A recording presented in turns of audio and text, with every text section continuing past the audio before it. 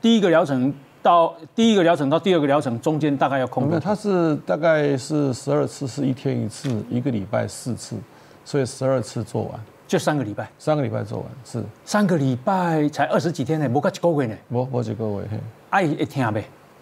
照 X 光大概就是那种感觉啊。我想这点我们那个呃主任也都很清楚哈，跟照 X 光是一样，所以我们都开没听玩笑，，没听哎，都丢到就电光赶快了。啊啊电疗啊所以十二遍了癌细胞无看呀，吼。呃，一些它是开刀拿出来看，里面几乎看不到什么癌细胞了，可是还是有一点点。可是，在过去的经验，这样是比较不容易的。啊，安安尼开偌济钱？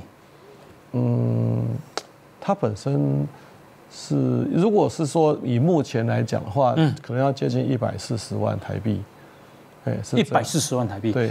如果家里有钱，还是划算啊。